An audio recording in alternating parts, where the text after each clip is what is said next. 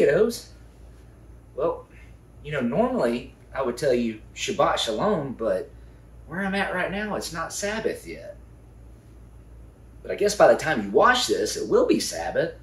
So I can say it. Shabbat Shalom. I'm doing something right now that's both exciting and frustrating at the same time. It's exciting because Miss Ashley made me a promise. She promised to make me some homemade cookies. I'm excited about it. Do you like cookies? What's your favorite kind? Mmm, that sounds good. My favorite kind chocolate chip. Ooh, I love chocolate chip cookies. I like a chocolate chip cookie. It's about this big. I've got a secret. What I do is I take the chocolate chip cookie and I flip it over like this. And then I go and get some vanilla bean ice cream and I stick it on top. And then I do it again. then I take my other cookie and I stick it on top and make a sandwich. But you gotta be careful because whenever you go, if you're not careful, the ice cream will go out the side. And so what you gotta do is, is you squeeze and you take your finger or your tongue and you wipe it around the outside to make sure that it doesn't go all over you. And you take it, oh, so good. I love it. So I'm excited about the promise that Miss Ashley made me about making me homemade cookies. But you know what? She didn't tell me what kind of cookie it was going to be. And I've got to wait for her to make them. I hate waiting. Oh, I hate waiting. You like waiting on things? No, me either. I wonder if there's anything I can do to help speed the process along? You know, could I make any suggestions to Miss Ashley's recipe to see if it'll make the cookies cook faster? What's some things that cook real fast? Chicken nuggets cook real fast. You think if we put chicken nuggets in there, it, that it'd be good cookies? Yeah, I don't think so. Chicken nugget cookies wouldn't be good. What if we put popcorn in there? Popcorn cooks really fast. Do you think that would be good? No, I don't think popcorn cookies would be good either. Hmm. I guess I'm really going to have to think about this because I've got to wait on the promise that Miss Ashley made, and I have to wait for everything to go on her time. You know, it kind of reminds me of what our Sabbath school is going to be about right now, where Yahweh made Abraham a promise, and he had to wait on it to come true. Hmm. I think they tried to mess with Yahweh's recipe too in getting things done. Tell you what, I'm gonna sit here and I'm gonna keep waiting on Miss Ashley to make the cookies. And uh, let's get Sabbath school started. We'll start out with prayer. We'll hear our story, and then we'll get on into it. I'll come back to you here in a little bit and let you know what's going on with the cookies. See ya. Heavenly Father, thank you so much for this beautiful day that you've made, and we thank you for another Shabbat. We thank you for everyone that is here watching and all of the teachers. We pray your blessings would be on each and every one in a special way, and that your presence would be with us. May we honor you and please you in all our ways. In Yeshua's name, Amen. Shabbat Shalom. This is another new song, and it is about. It's based on the story that you're going to learn today about Sarah and Hagar, and it goes like this.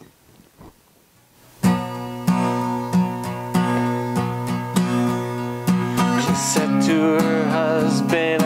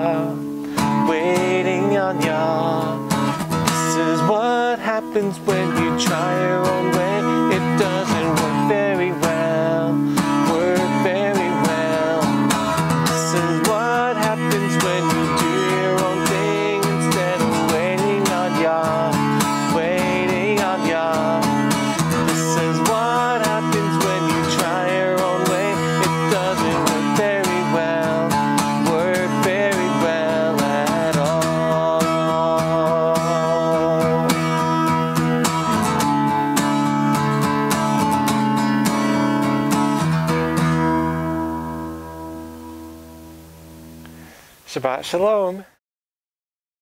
Shabbat Shalom, boys and girls. This is Miss Megan, and I'm excited to be here with you today. Last week, we learned that Yahweh had made a covenant with Abram to make his offspring outnumber all the stars in the sky, and that they would come to reside in this great piece of land that he had outlined for Abram. But Abram and his wife were really old, past childbearing years, and they hadn't had any children of their own. So, how can that be? Well, let's see what happens next. Now, Sarai, Abram's wife, had borne him no children. She had a female Egyptian servant whose name was Hagar. And Sarai said to Abram, Behold now, Yahweh has prevented me from bearing children. Go into my servant. It may be that I shall obtain children by her. And Abram listened to the voice of Sarai. So, after Abram had lived ten years in the land of Canaan, Sarai, Abram's wife, took Hagar the Egyptian, her servant, and gave her to Abram, her husband, as a wife. And he went into Hagar, and she conceived. And when she saw that she had conceived, she looked with contempt on her mistress. And Sarai said to Abram, May the wrong done to me be on you. I gave my servant to your embrace, and when she saw that she had conceived, she looked on me with contempt. May Yahweh judge between you and me. But Abram said to Sarai, Behold, your servant is in your power. Do to her as you please. Then Sarai dealt harshly with her, and she fled from her. The angel of Yahweh found her by a spring of water in the wilderness, the spring on the way to Shur. And he said, Hagar, servant of Sarai, where have you come from, and where are you going? She said, I am fleeing from my mistress Sarai. The angel of Yahweh said to her, Return to your mistress and submit to her. The angel of Yahweh also said to her, I will surely multiply your offspring so that they cannot be numbered for multitude. And the angel of Yahweh said to her, Behold, you are pregnant and shall bear a son. You shall call his name Ishmael, because Yahweh has listened to your affliction. He shall be a wild donkey of a man, his hand against everyone, and everyone's hand against him, and he shall dwell over against all his kinsmen. So she called the name of Yahweh who spoke to her, You are an El of seeing. For she said, Truly here I have seen him who looks after me. Therefore, the well was called Beer Lahai Roi. It lies between Kadesh and Bered. And Hagar bore Abram a son, and Abram called the name of his son, whom Hagar bore, Ishmael. Abram was 86 years old when Hagar bore Ishmael to Abram. Hmm. This isn't the easiest story to listen to, but there's one really important thing I want you to understand about this story. We have to trust Yahweh's perfect timing, even when we don't understand why or how things will happen. Do you see what happens when we are impatient and take matters into our own hands? Last week we learned that Yahweh had promised Abram that he would give him more offspring than all the stars in the sky. Because he and Sarai were so old, they grew impatient and decided to try to rush Yahweh's plan. But that didn't go over so well, did it? Can you think of a time where you were impatient and didn't wait on Yahweh? Waiting on something we really want can be challenging, but His ways and timing are perfect, and we have to learn to trust and obey Him, even when it's really, really hard. After all, blessings always come out of obedience. Well, I can't wait to learn what happens with Abram and Sarai next week. Shalom! Interesting facts about fetal development. Life begins for all of us at conception. We all start out as a single cell, too small to be seen by the eye, and grow into a baby. In the Bible it says, For you, you possess my kidneys, you have covered me in my mother's womb. Psalms 139:13. Yah is the creator of life, and in the early weeks, so many amazing things happen while we are forming. Here are just a few of the many interesting facts about a baby being formed in the womb. When the seed fertilizes the egg, it's called conception, and at that point it has its very own DNA, unique from the father and the mother. By day 18, a baby has a heartbeat, and it can be seen beating on ultrasound at 6 weeks. Between weeks 7 and 10, a baby has developed all the body parts he or she will be born with, even though they are only about an inch long. By week 14, a baby is the size of a pomegranate, and by week 40, the size of a watermelon. By the fourth month, the baby can suck on its fingers and toes and play with its umbilical cord. The lungs are the last major organ of the baby to develop, usually around 34 weeks, which explains why babies born early need oxygen and other medical interventions. The first breath of a newborn is extremely important because it expands the fluid filled lungs with oxygen and moves oxygen into the bloodstream. Yah created us all in His image. We are fearfully and wonderfully made. Psalms 139:14. Shalom. Wasn't that a very interesting story? I mean, Abraham and Sarah didn't wait on Yahweh's timing. You know, Yahweh has a recipe about life, and they didn't wait. It actually caused some hardship there because Hagar and Sarah started not being able to act well with one another, and, you know, caused a lot of heartache. So I wonder if I should mess with the, the recipe. We don't want any chicken nuggets, we don't want any popcorn in there, we already figured that out. But maybe what we could do, because I really, really want some cookies and I want them fast, is maybe instead of making them the size that the recipe says, what if we put it a little bit thinner so that they cook faster? Hmm. Let's watch and see if that works.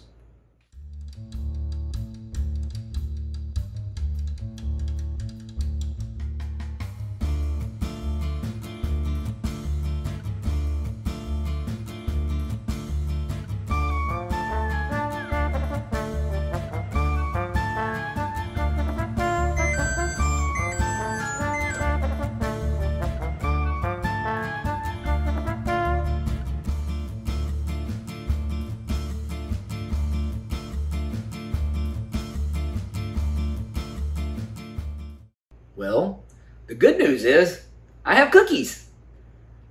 At least I think that's what this is. You know, I'm used to cookies being a lot bigger. It smells like a cookie. I'm sure it's going to taste like a cookie.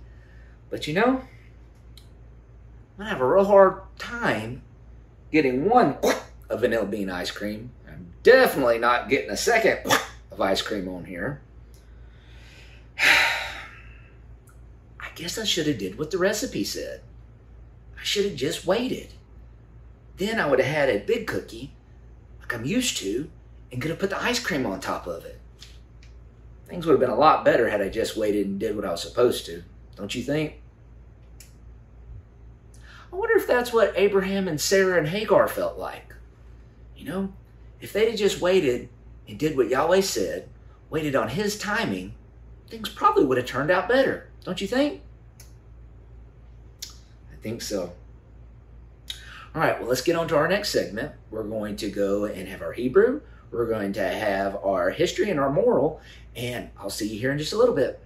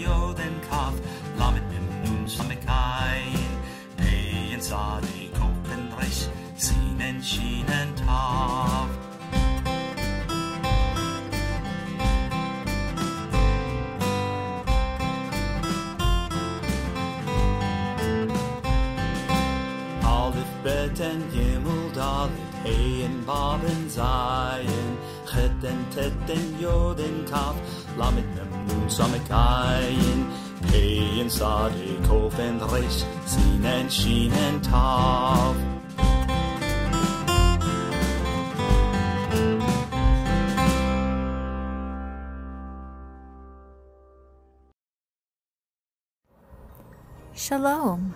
Hello, boys and girls. In today's Hebrew lesson, we will learn seven words that are found throughout chapter 16 in the book of Genesis. That's Bereshit in Hebrew. Are you ready to learn some new Hebrew words? Great, then let's go. The first word we see is the Hebrew word for children. It's yeladim. These Yeladim look pretty happy, right? We see the Hebrew letters of Yud,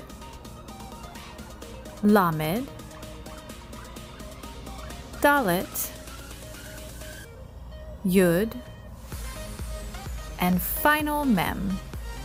Together, they spell Yeladim. The second word we see is the Hebrew word for pregnant, Hara. That mommy is pregnant with a little baby. Hara is made up of the Hebrew letters He, Resh, and He. And together they spell Hara. The third word we see is the Hebrew word for Egypt, Mitzrayim. Hagar was an Egyptian woman because she lived in Egypt. Mitzrayim is made up of the letters Mem, Tzadi, Resh, Yud, and final Mem. Together they spell Mitzrayim. The fourth word we see is the Hebrew word for eyes, Ayanim. Everyone has different colored eyes. What color are your eyes? Ayanim is made up of the Hebrew letters Ain, Yud, Nun, Yud, Yud, and final Mem. Put them together and they spell Ayanim. The fifth word we see is the Hebrew word for hand, yad. We use our hands to do many things, and using our hands to help others is one of the best ways to use them. The word for hand is spelled using the letters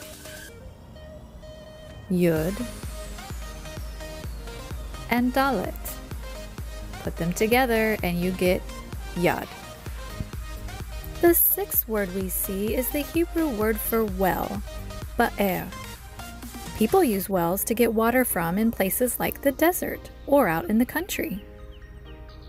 Ba'er is made up of the Hebrew letters Bet, Aleph, and Resh. Together, they spell ba'er. The seventh and final word for today is Shema, and it's the Hebrew word for hear or listen. We use our ears in order to hear sounds. We need to use our ears in order to listen and obey what our parents tell us. This word is made up of the Hebrew letters Shin, Mem, and Ayin. Together, they spell Shema. Good job, boys and girls. I hope you had fun learning some new Hebrew words. Shabbat Shalom. It's Miss Jessica here for today's history lesson. This week we see that Hagar ran away. When she ran away, a messenger of Yah found her beside a spring. The definition of a spring is a place where water wells up from an underground source. There are lots of places in Scripture that talk about these types of places, sometimes called a well or cistern. These wells or cisterns were sometimes fed by springs. Others were dug deep underground until they reached or went below something called the water table. Let's take a quick look at how that works. A hole would be dug deep into the ground until they reached the area underground that was saturated with water. And poof, you have a well. Cisterns were used to supply drinking water for humans and animals. Oftentimes, rivers, brooks, and lakes were used as sources of water for such needs too if they were nearby. Cisterns, however, were man made and they weren't already here when Yah created the earth. Usually, the water was drawn up by a rope that ran over a wheel, and a bucket made of animal skins was fastened to the rope. Then it would be lowered to gather water and pulled back up. It took hard work to create a cistern, and it took hard work to fetch large amounts of water, too. Many houses in rural areas still use wells today to supply their homes with water. Do you know anyone that uses well water? I do. My grandmother used it for many, many years in her home, and my great grandparents used it as well, but they used it just like they did in the days of Scripture. They had to go fetch water at the well itself. It wasn't plumbed to pump into their home through pipes like my grandmother's house was. So if you needed a drink of water, you had to go get it from the well. They had to go outside regardless of the weather to get fresh water for taking a bath, for cooking, anything that you needed it for. Can you imagine what your life would be like if you had to fetch water from a cistern? Sometimes we don't always stop to appreciate things that make our lives easier. Having clean running water is one of those things that can sometimes slip our minds when we're thanking Yahweh for all of our wonderful blessings. Not everyone has access to clean water. So if you have clean water to drink, bathe in, cook with, be sure to say thank you to Abba Yah for such a wonderful blessing. Until next time, Shabbat Shalom, Mahavarim. Shalom. This is Miss Megan, and I'm back to talk with you about something pretty important. Do you know what patience is? You do? Great. Well, I want to tell you a story about a boy named Zach who learned the hard way about what that word truly means. So, there once was a teacher named Mr. Johnson who had given his students some sunflower seeds. Each kid was responsible for planting and caring for their own sunflower until it was time to harvest the seeds. Zach, a boy in Mr. Johnson's class, was so excited for his plant to be ready. Sunflower seeds were his absolute favorite snack, and he couldn't wait for his sunflower to be big enough. The kids each planted their seeds in cups and looked after them each day, making sure that they had enough water and sunlight to grow. After what felt like forever, the first tiny green sunflower shoot finally appeared. Zach was overjoyed and filled with impatience. He ran over to Mr. Johnson, excitedly asking him if he could uproot the plant to retrieve its seeds yet. Mr. Johnson reminded Zach that every plant blooms in its own time and that he would have to be patient and continue to care for his sunflower until it was the perfect time. Zach was disappointed by this answer, but he continued to take great care of his sunflower. Days and weeks passed, and as the little sunflower continued to grow, so did Zach's impatience. Finally, as he was caring for his sunflower one day, he noticed its first seeds, and he immediately ran over to Mr. Johnson, telling him that it was time to harvest the seeds. Mr. Johnson told Zach yet again that it wasn't quite time and that he needed to be patient just a little while longer. Zach decided that he knew better than his teacher and that he would take matters into his own hands, so he snipped off his sunflower and tried to harvest the seeds. Now, if you know anything about plants, you'll know that once you cut it, it no longer grows and matures, and there is no reattaching. There is no undoing it once the plant is cut, which is why it is important to be patient until the plant is truly ready to harvest. Zach quickly found this out. Once he cut off the sunflower, he saw that the seeds were nowhere near ripe enough to eat, and he was devastated. He had put in so much effort into caring for his little sunflower, but he quickly gave it all up because of his impatience. It was not time for his sunflower to be harvested, And had he waited patiently on it to become ripe in its own time, he would have been able to eat his favorite snack in the end. Have you ever been asked to wait for something you really wanted? Maybe you had to wait in line to ride your favorite ride at the amusement park on the busiest day of the year.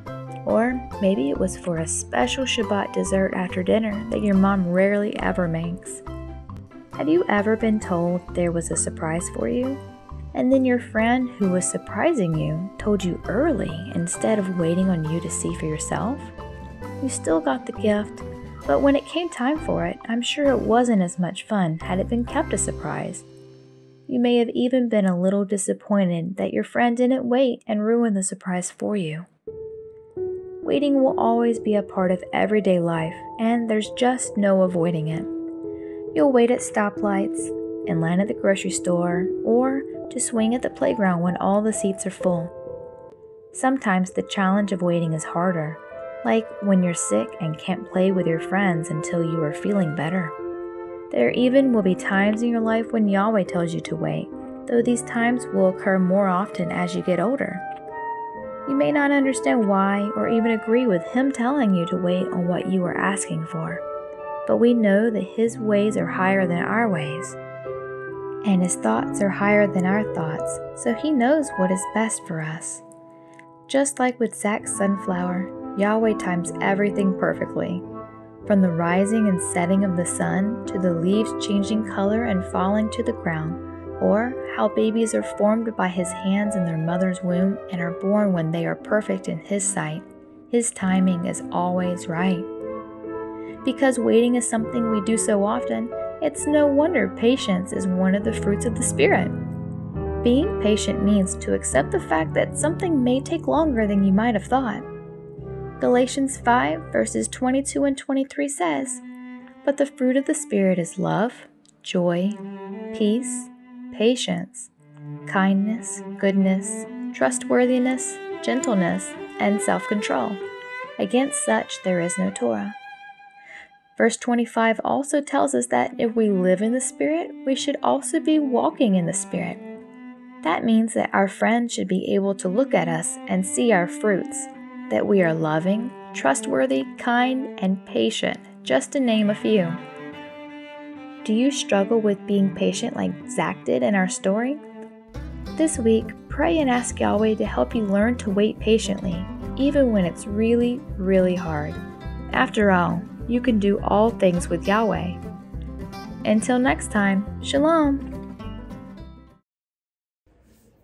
Hey, what's up, kiddos? Haven't we been learning a lot of great stuff today? I mean, it's been awesome.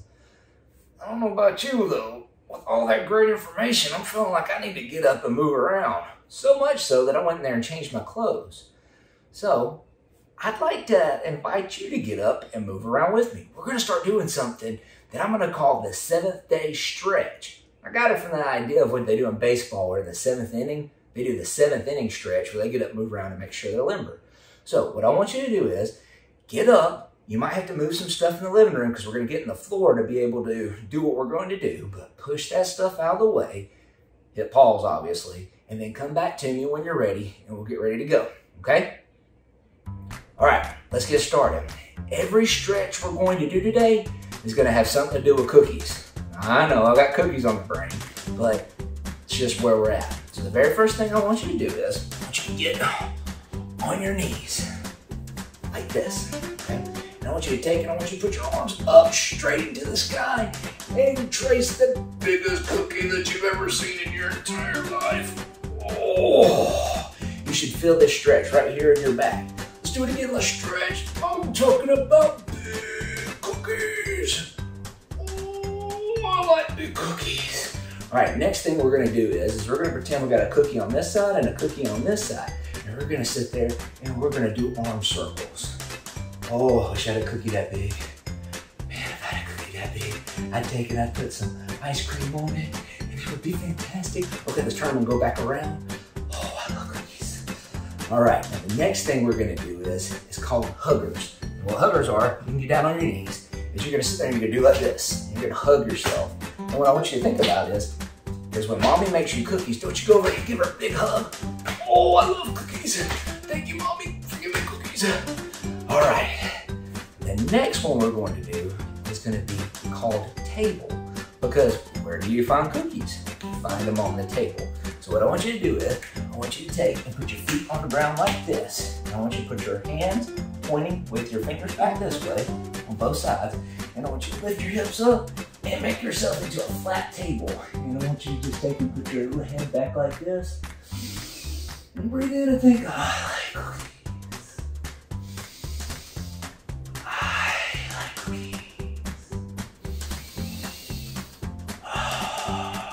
All right, let's sit down. The next stretch we're going to do is called cobbler stretch. Now, cobblers, I think the reason why they call it cobblers is because you put your feet like this, and cobblers to make shoes. But when I think of cobbler, I think of pie. When I think of pie, I think of sweet things baked in the oven. You know, like cookies.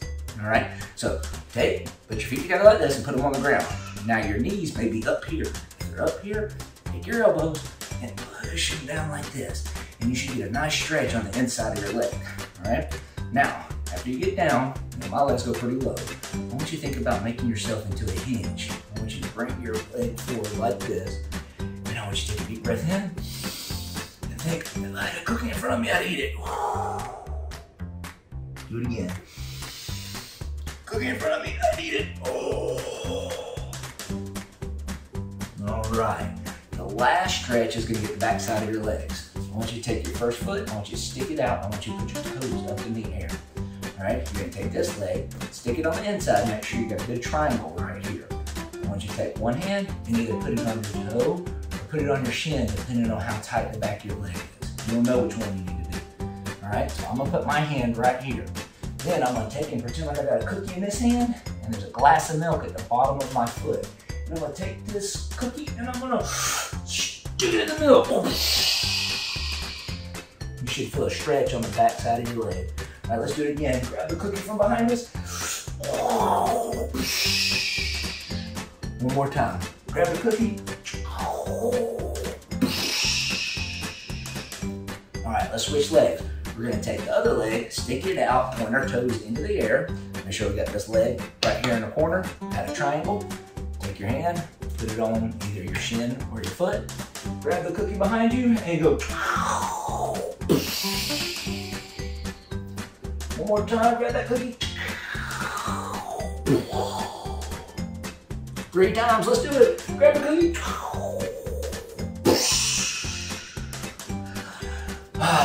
All right, we should be all limber. We should be good to go now. Get on. We've got our song, we've got a memory verse, and we've got our craft left to do, and then we'll get prayed out.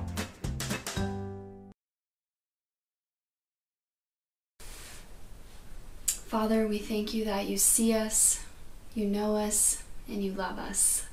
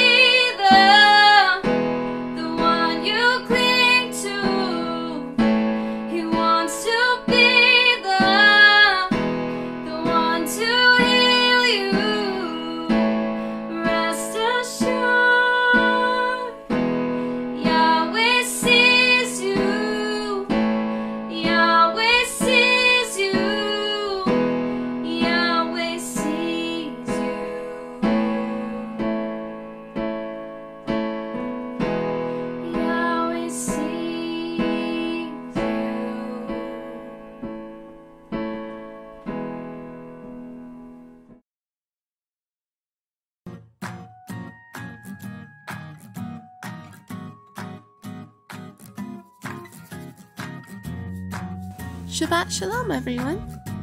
This is Miss Shannon with another passage of scripture to memorize. This week we learned about Sarah and Hagar and how a sort of messy situation ensued because people were trying to do things according to their own understanding.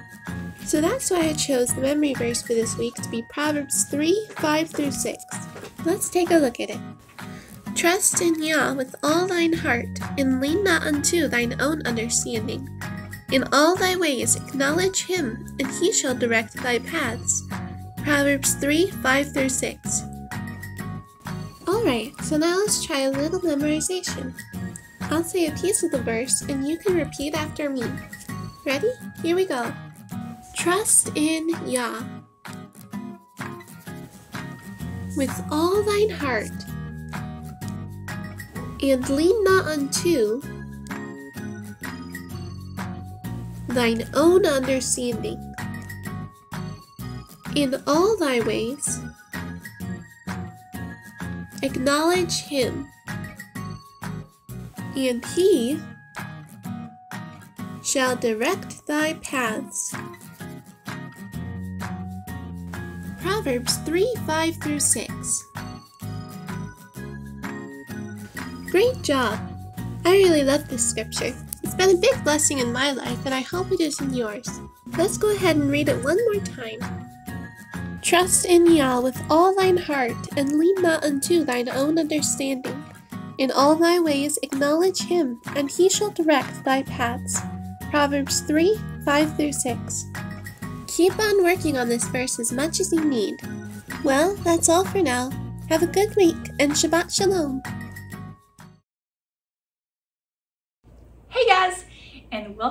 To this week's Trained Up in Torah. I'm back with you again this week to do another craft. I'm Ashley, and this week in our scripture study, we learned a little bit about what went on between Hagar and Sarah and how they weren't really happy with each other. So Hagar ended up at that well, and the messenger had a lot to say to her. So I thought this week that a craft would be fun if we did some kind of well. So today, that's exactly what we're gonna do. So grab you a chair, grab your craft stuff, and let's have fun.